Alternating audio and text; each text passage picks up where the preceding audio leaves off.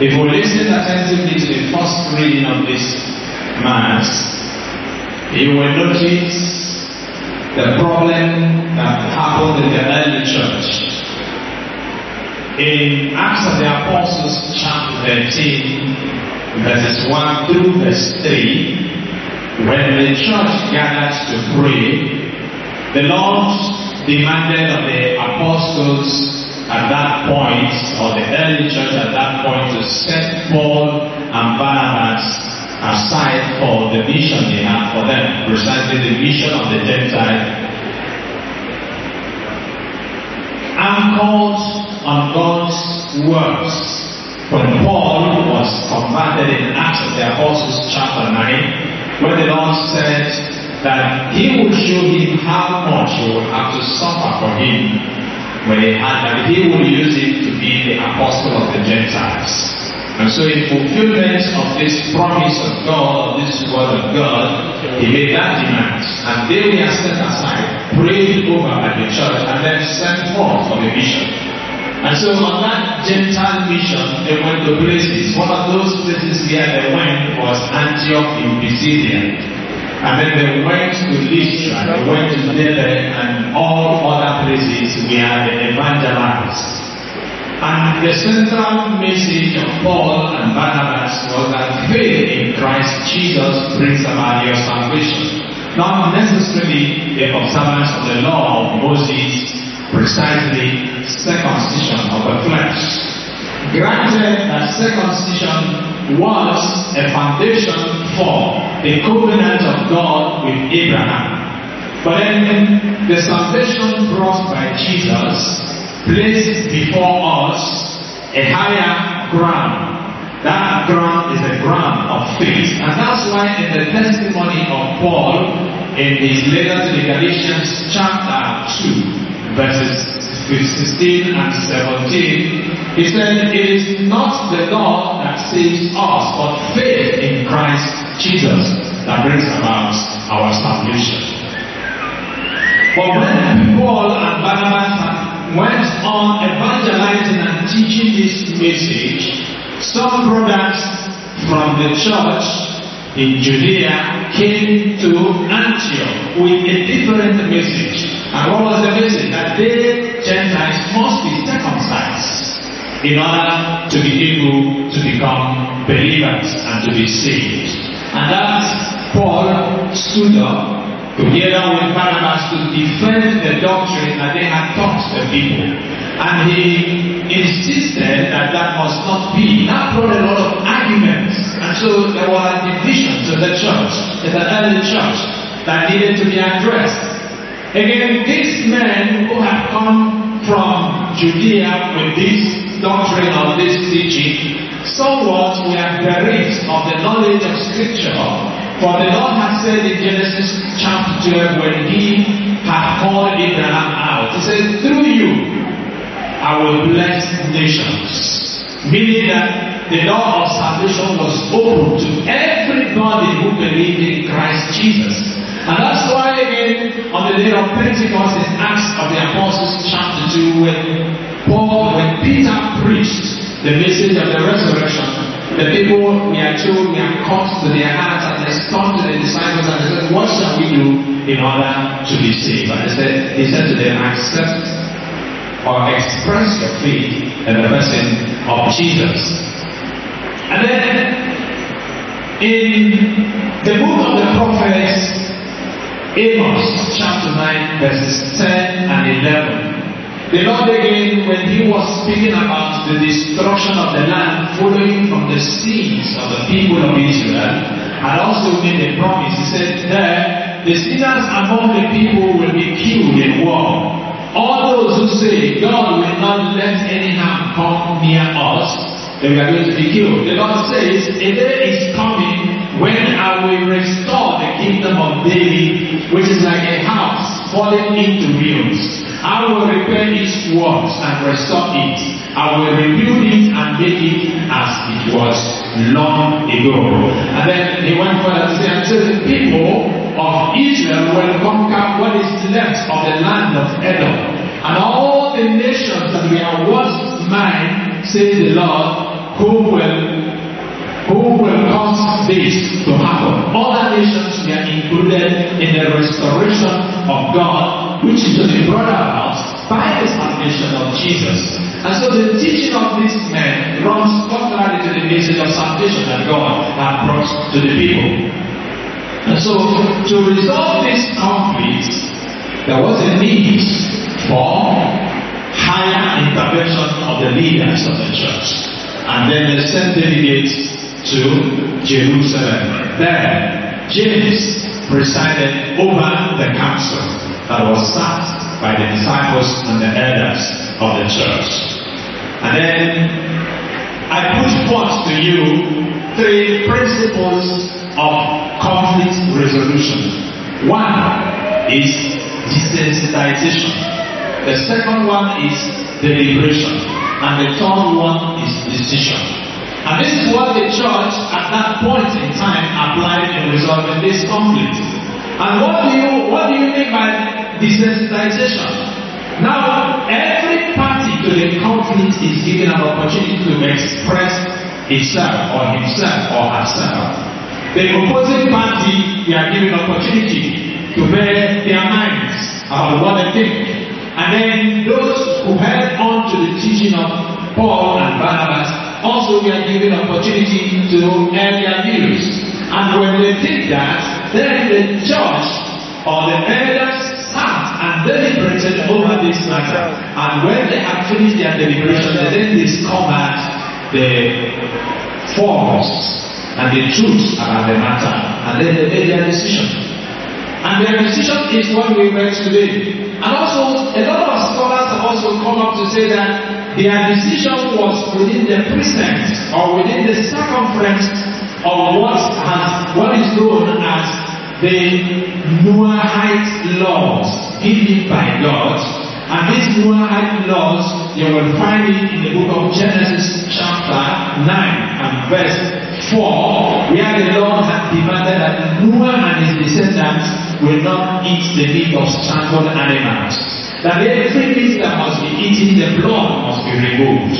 And again, that idol worship must be abhorred, and that the people will not curse God. And also, sexual immorality must be avoided.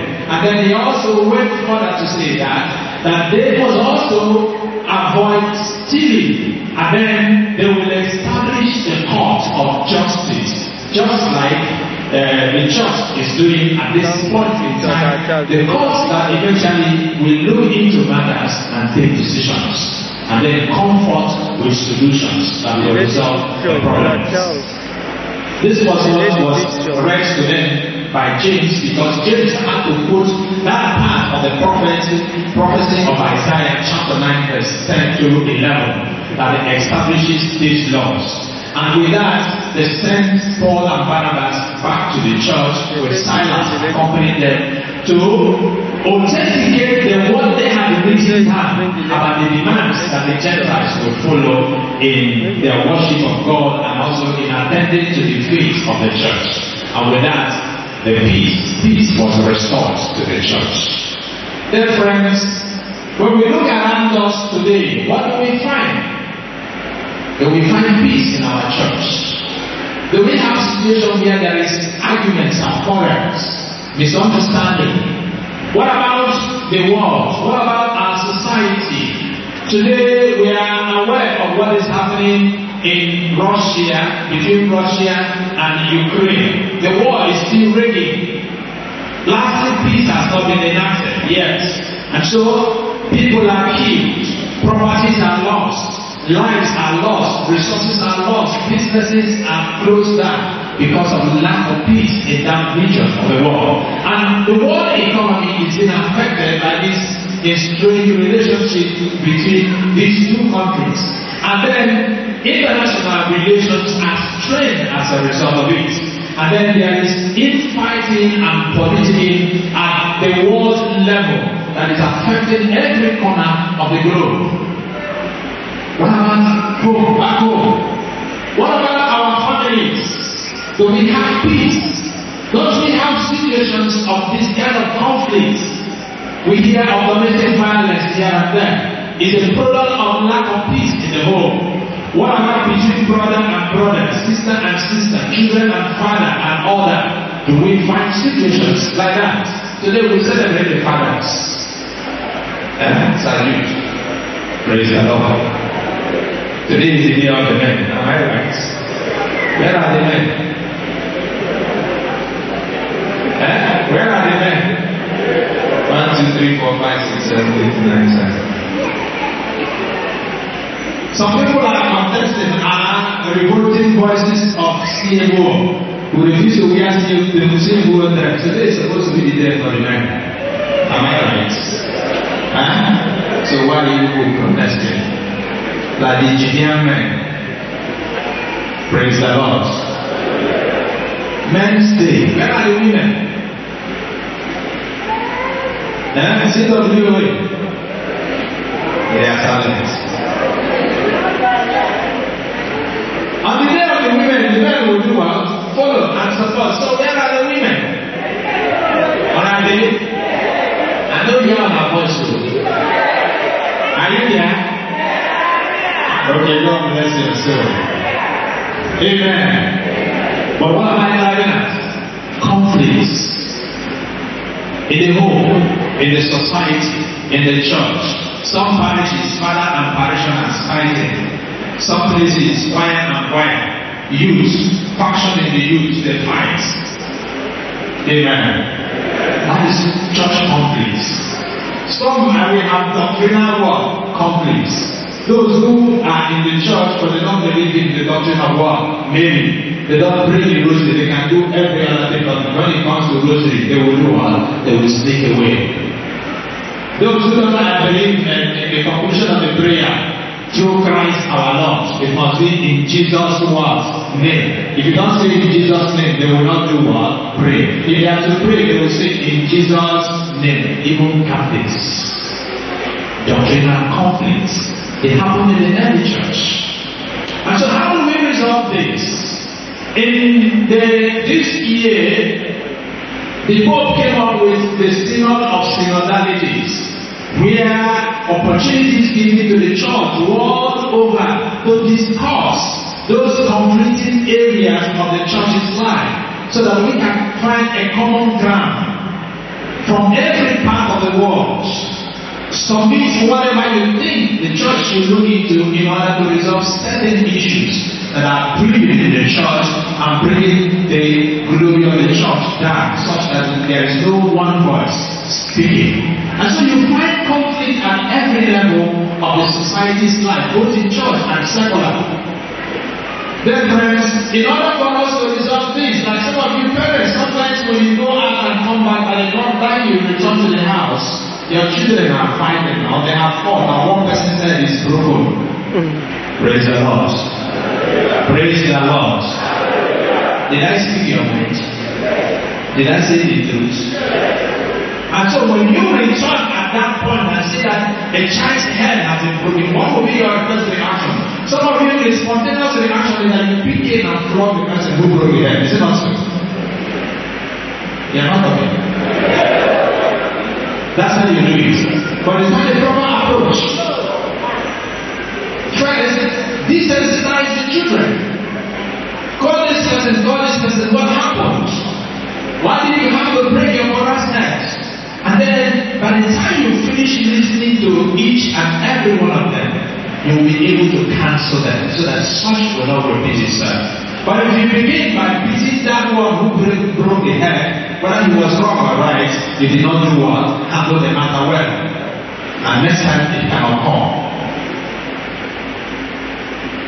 When they have earned their minds, you listen, you deliberate, and you decide and cancel. Then friends, in our country, Nigeria today, there are a lot of conflicts. A lot of conflicts. I don't know those who are from Anambra here. Those who are from Anambra.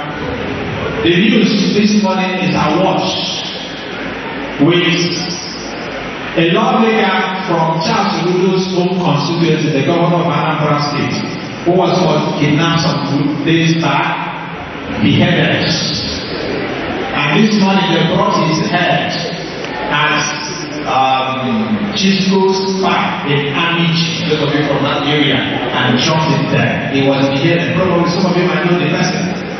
Representing that there is conflict in our lands. What about the Oduduwa Republic agitation? What about the Biafra agitation?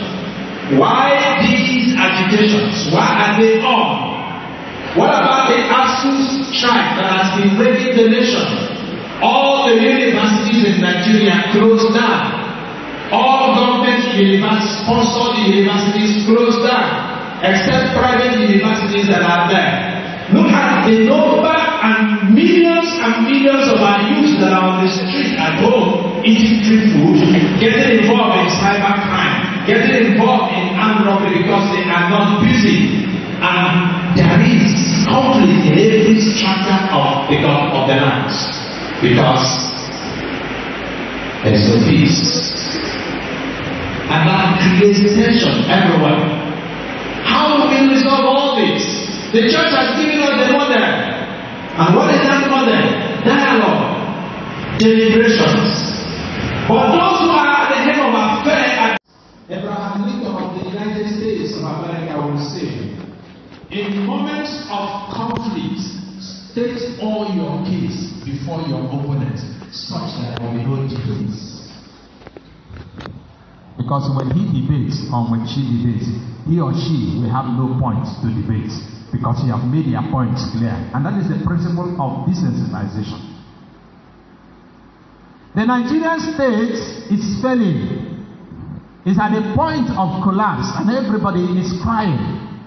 Dear friends, in the world we have the, if you like, call it the watchdog or the watchtower, the United Nations, which is the umbrella organization that guides nations of the world. This body was established in 1946 with 193 states or nations as members. And in order to help it in gathering and fostering peace, justice, equality in the world, it created councils. The General Assembly Council, the Security Council, it has the Economic and Social Council, the Trusteeship Council, and then it also has the International uh, Court of Justice Council. Then it has the secretariat, manned by the general council, uh, by the general secretary of the United Nations, and each of these councils has a responsibility. Ever since the establishment of the United Nations in 1946, it has faced 250 wars in the world, and also currently from its analysis of conflicts in the world, it has also established that, uh, that 600 million children are affected by wars in different parts of the world that it goes on trying to see how it resolves these problems. The United Nations also has come up with the Sustainable Development Goals It had the goals and then came up later with the sustainable development goals, about 18, 17 or 18 of them. But I want to be particular about one of them, precisely number 16, that talks of justice, peace, and strong institutions. And in its charter for the year 2022, 2250, He says that is about 228 years ahead of all of us here, but then all of us should have died. And he says in that charter that the youth are the focus of that charter to sustain peace, justice, and establishment of strong institutions. And one of those strong institutions that it talks about is the university. And it says that the university is a strong actor in bringing about justice, peace, because it educates the children, it educates the young boy and the youth, it empowers them with knowledge, building human capacity and capital, human capital development in order to put to the world men who will become leaders of tomorrow and champions of peace and justice. But where is our university today? Closed down. Our universities are supposed to be citadels of knowledge, but it is closed down. And a man without knowledge is as good as dead. What is the attitude of our government to it? The attitude of our government is that they have paid deaf ear to the cries of the cheating population of our young people that are wasting at home without knowledge. That they do not want to sit down to deliberate and discuss these matters of conflict. Nigerian state, with its so-called leaders, do not want to sit down and say, what is the way forward? The apostles did it. They sat down together to discuss.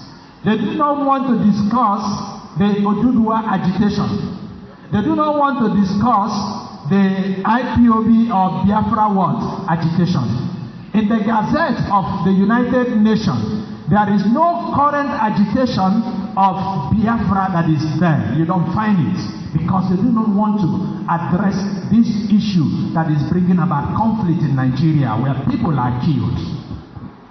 Houses are destroyed. Institutions are destroyed on daily basis. They do not want to discuss, it.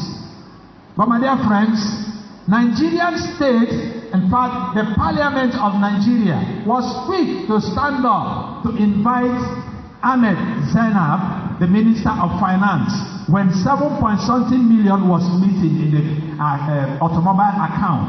They invited her with the account general of the nation to explain the whereabouts of the money. And then of recent you've heard that the accountant general of the federation is on what? Suspension without pay. Ahmed Idris. But dear friends, how much did Ahmed Idris steal? 80 billion. 80 billion.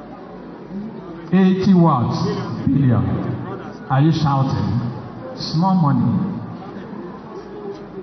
Praise the Lord. Praise the Lord. When ASU started its strike, precisely 2009, when they started from 2009 that ASU began to dialogue with Nigeria, with the Nigerian states. Amen. Amen. From 2009 till date, ASU has gone on strike eight times plus the current one. Now, within this period, ASU is asking the federal government in the discussion they had in 2009, following from that again, they had another discussion with them in 2013, where they entered a memorandum of understanding and then in 2013, a memorandum of action the federal government pledged and promised to spend on education 1.3 trillion naira. Because as you accuse the federal government that the institutions are in deplorable state and they cannot continue that way. And so the government came that this 1.3 trillion naira is going to be paid in trenches of 220 billion. And then in the year 2013, the federal government paid 200 billion. And then thereafter, they failed to pay. And then in 2013, they came up and paid just 20 billion. And then, then again, they came up and paid 25 billion in 2017. And ASUU rejected it and said, that is not our agreement. If you have to pay anything less, then you pay 110 billion, which is 50% of 220 billion. Yeah. And the government refused. But the government is quick to pay 4 trillion for fuel subsidy. The government is yet ready and willing to pay 222 28 billion for feeding fictitious school children and they defended others. Yet the, ed- the ed- educational institutions, the universities owned by the state that is supposed to be the bedrock of civilization, development, peace, justice in the land is being neglected. And that is the conflict. The Nigerian state is not willing to sit down and dialogue with Biafra and say, what do we do? What is the way forward? But they want to clamp down on it. Today, the, by the end of this week or sometime next week, many of the parties will go for their primaries. And what is ringing in the air? The answer, my friend, is blowing the wind. The answer, my friend, is blowing in the words, wind. And what is that answer blowing in the wind? Everybody says, following from the United Nations Charter for Justice, every region should test the presidency. Did I say the truth? Huh? Every region should test the word presidency in Nigeria. And as it stands by the history and record of Nigeria, the region that has not tested the presidency of Nigeria is where? I did not hear. South. South. I speak as a priest. Southeast. But nobody wants the Southeast to produce the president of Nigeria. The South South want to present candidate. I am a South South man. But we do not stand on justice. Fani Kayode says, if the Southeast is not giving the presidency of Nigeria, South South and Southwest are not just to them. Otherwise, it should go to the North. I do not subscribe to that. It should go to the Southeast, whether every other region or not agrees. Let the government come to a round table. That is the only way that the conflicts in Nigeria can be abated to a level of understanding. All men are created equal. Every one of us values justice. If we do not value justice, then we are good to be disbanded as a people. And that's why the early church had to go out, all out to seek for peace. Justice breeds peace. Conflict breeds war. That is why millions of children today are suffering. My dear friends, as we as a church take a cue from what the early church has done, likewise the civil state should take a cue from that. That is the only way that justice will prevail and peace will abound among us. In the past, in the scriptures, precisely in the book of Joshua, chapter 24, verse 24, Joshua called the host of Israel and gathered them together and said, We have to sue for peace. No more division about this God or that God. Me and my family, I will worship the living God. And the people say, We shall worship the living God. And there was peace in Israel. In 1 Kings chapter 17, chapter 18 and 19, the contest between Ahab and the prophet Elijah was resolved through. The conflict, because the prophet had said there will be no rain in the land for three and a half years until I do what? I say so. And for three and a half years, there was no rain. Everybody was in trouble. The prophet who made the prophecy was in trouble because he was on the run, because his life was at stake. The king came chasing him until he said, Hold it there. He showed himself and said, Let's dialogue. Through the dialogue, what happened? The prophets of Baal, they are given opportunity, they are sensitized, they are given opportunity. Prove your words. And I prove my words. And at the end, who won? God won. Peace was restored to the land. In Acts of the Apostles, chapter 6, when the Grecian women complained of being marginalized, and the church gathered together and said, We elect seven deacons who will serve at table. What happened? There was peace in the church. Nobody complained of being cheated or marginalized. Dear friends, today we read from Acts of the Apostles again, chapter 15, of another incident of this kind of incidents. We can only achieve peace as Jesus has promised us when we come to a round table. And I speak today as a priest of God. The Nigerian state, if we want peace in the coming election, should allow justice and equality to prevail. Let the presidential position be allotted to the people of Southeast. Peace be with you.